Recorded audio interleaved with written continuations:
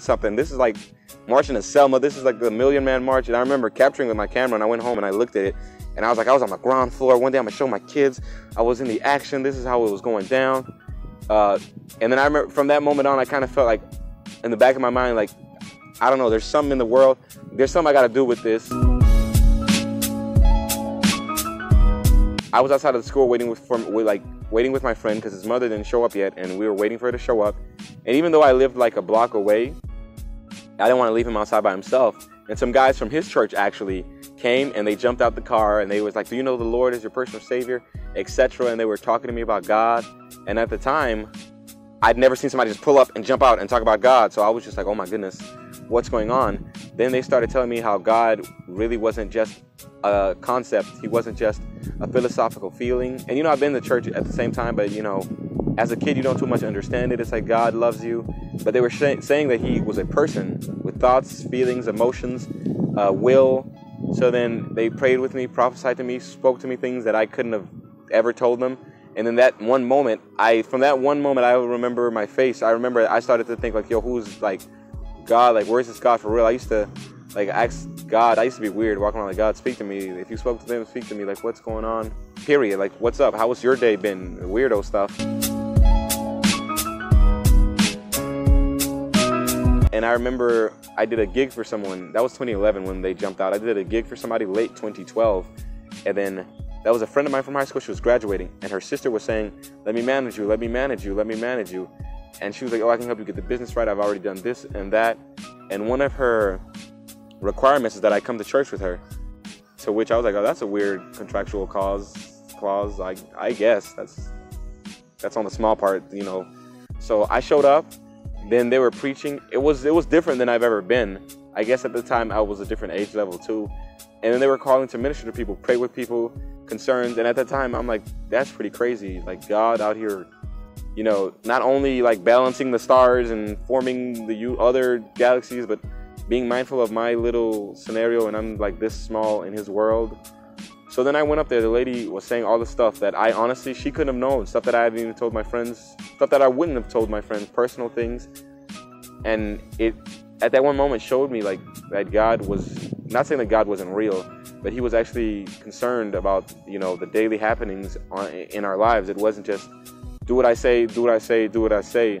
It was like I care that this happened to you, that this didn't happen to you, that you felt this way. And she said a lot that day about my hands and using them for God and anointing. At that time, I I wasn't even familiar with the words anointing and all that. I was just like my hands. I don't see nothing with my hands. And then she was just like, yeah no, no, your hands. I see something. And she was going on. Then she said, mark this day down, February 2nd, 2013. Your life will never be the same anymore. Don't forget this day ever.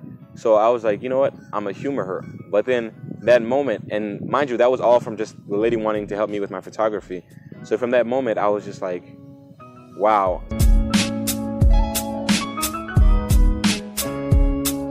So every day I thought about it. I went to sleep about it. Every time we, we met up, drew up contracts, did business things, made up spreads, accounting things like that. One day, this is one of the like this is the moment that I was like, right, this is no joke. We were outside because we were gonna get we are gonna do a pizza break before we went back to work because I spent most of my time working on the pictures, legal stuff, taking pictures, setting up stuff for weddings. And then these two guys, dreads, tattoos, they come out the car, and I'm like, oh snap! Because of the neighborhood we were in, I thought we were gonna get robbed because that happens every now and then. So then they were like, they pulled up to the window, leaned over, and then they were talking about like, do you guys know the Lord as your personal savior? And I was like, these dreadhead tattoo Lil Wayne esque guys. You know, of course the tattoos were from before, but they were they they came one way, and then they were just you would have thought they were like TD Jakes' son or something like that, and they were really ministering about how God is real and everything like that. Then I was asking them why they did it, and then they were saying you know, like in the Bible, how it said that, you know, some of the apostles would go to cities and flip the whole city upside down. And I remember feeling from that day on, like, I want to flip the whole city upside down. And then I was wondering, like, how could I do it? I'm like, I'm not a singer, I'm not a dancer, I'm not the most, you know, uh, well, I'm, I'm, not the most influential. I, I, am not the best at sports. I can't be like, I'm to play ball and then say, God did it when I get my awards or my MVPs and yeah, I'm well spoken, but I'm not the most, uh, you know, affluent. And then I went to church one last time with the lady, and everyone was really worshiping the Lord for real. The, like there was a lady dancing. I remember everyone was worshiping, but I, I didn't. I've never seen worship like so free, where everyone was just like, I'm gonna do what I want because there's no one around. It's me and God. And everyone was like worshiping. And I was looking around, and I was there with a couple business partners because I was inviting them, and she was like, "Look at this," and I was like, "Do y'all see what's going on?" And they're like, "Yeah, we in church." And I'm like, "No, do y'all see?" for some reason I just saw things differently. I'm like, look at this person, look at that person. This person's wailing on the floor. This is an adult. Like, how in the world is uh, like a 30 year old woman doing this? And look at that. And everyone's just like, yeah, whatever. And I remember the moment that I felt that, you know, what it wasn't specifically singing or dancing, but I could use what I was good at was when I looked up and one of the dancers who was ministering, she was dancing one way up and down the altar with a flag but she wasn't looking at everyone. She was looking up and she was just sobbing uncontrollably as she was like doing all this and lifting her hands up to God. And I remember like I was glued on there. I was like, what is she seeing? What is going on? The keyboard player was doing this thing, but she was just in her own world. And I was like, you know, she wasn't singing in the worship team or playing the keyboard or preaching.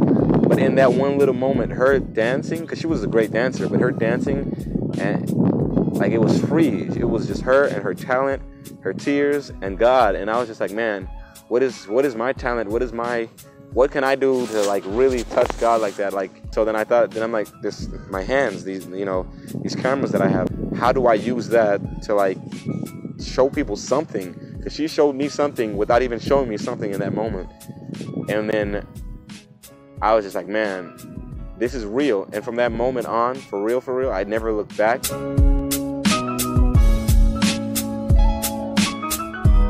like I said, as a Christian, people think you're perfect or you're without blame whatever. They always say, you know, the church is full of hypocrites, but that's what the church is made for. So I'm not gonna pretend like I was just like, hey, I'm saved and look at me, I'm a pastor now. But I definitely took that moment to be like, yeah, this is real. This isn't a game. God is real. He's out there. She experienced something. This isn't just go to church, go home. This is a personal thing. And I sought it after that. And then I was looking for a way to use my gift my skills, my hands in the same way she did. And then from that moment on, I, I at first I didn't know what to do, so I just took my walk with Christ seriously. But I didn't, I didn't even put two and two together. I thought it was something like my pictures. It was something I put down, serve the Lord until like one moment where I was doing like B-roll for a major event. They gave me new toys, shiny camera, uh, four thousand dollar lenses. I'm like walking around like yeah, but I remember like I started recording a couple of people. But in the moment, as I'm recording and I'm trying to get the best, because I'm like, man, these moments are so real. It, it, took me back to what that lady was doing when she was dancing. Like I've seen, it was grown people, young people, uh, adolescents, teenagers, people really worshiping. Me. Sometimes they cried, sometimes they didn't. Sometimes they were mouthing out like like adoration. They were like, "I love you." They were using their hands, and I'm like recording it. I'm like really focused. I'm like, no, I'm gonna capture this. This is real. People in the world have to see like these people aren't playing. This isn't like let me put on a fresh suit and bring a Bible and let me act a certain way. This is like this is more than real to me. Like I was like, wow, these people are feeling this way. So I started taking more and more videos, and I did conferences after conferences after conferences.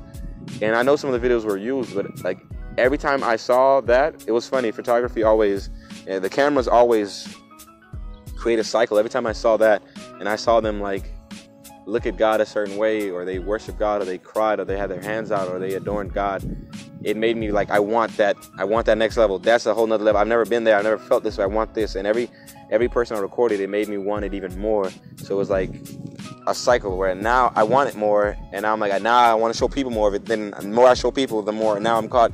And it's like funny enough, it just kept rolling and rolling and rolling, and I'm like I want this so bad. I want to show people like what what God can do. And ever since then, I'm like, I went from doing the conferences to now I'm like, I want to capture the world even the more subtle things like dragonflies and and hummingbirds, not even animals, everything. People, we are we are creation of God. Like rainbow, like anything that can be caught, just to like like God, art by God, like for real. That's how that those moments that God and photography. God bring me to photography. Uh, photography bring me back to God in a, circle.